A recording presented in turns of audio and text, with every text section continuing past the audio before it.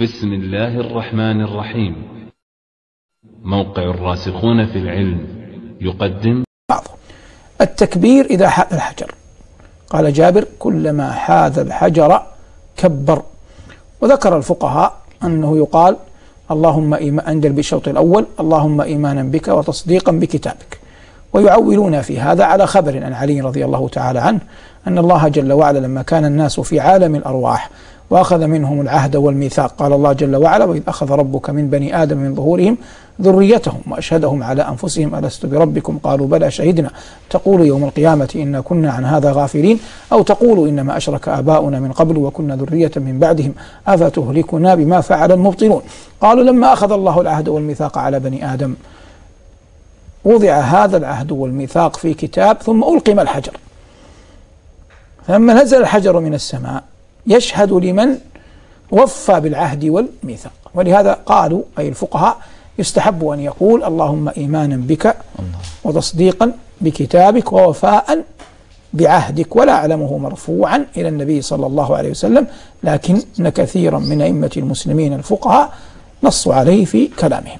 فهذا ما يتعلق بالطواف. يقال ربنا آتنا في الدنيا حسنة وفي الآخرة حسنة. ما بين ما بين الركنين. نعم. الركن الحجر الأسود والركن اليماني. والركن اليماني نعم. الاطباع وهو إخراج المنكب الأيمن والرمل في الأشواط الثلاثة الأولى الرمل في الأشواط الثلاثة الأولى والاطباع في سائر الأشواط السبعة وردت به السنة أن النبي صلى الله صلى عليه وسلم خرج من المدينة يريد العمرة في السنة السادسة فصدته قريش نعم. وكان عليه السلام قد أخبر أصحابه أنه سيطوف بالبيت أنه رأى رؤيا أنه يطوف بالبيت ففرحوا فلما صدوا شق ذلك عليهم.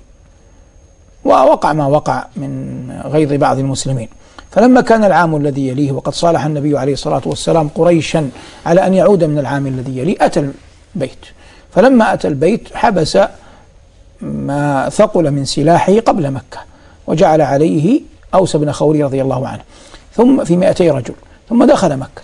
في قرابة ألفي رجل ثم دخل مكة. كان كان عبد الله بن أبي رواحة رضي الله عنه بين يدي رسول الله شاهرا سيفه يقول خلوا بني الكفار عن سبيله خلوا فكل الخير في رسوله. فقال له عمر رضي الله تعالى عنه أفي حرم الله؟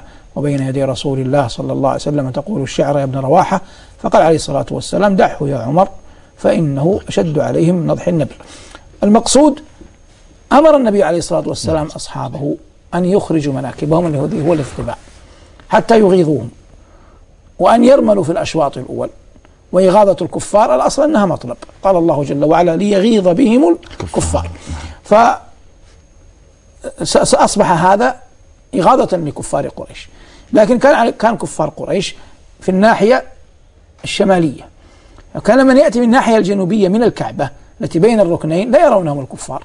نعم. فكانوا لا يرملون ويمشون الهوينة وهذا ما يسمى سنة الاستبقاء يعني يبقي النبي صلى الله عليه وسلم على قوتهم.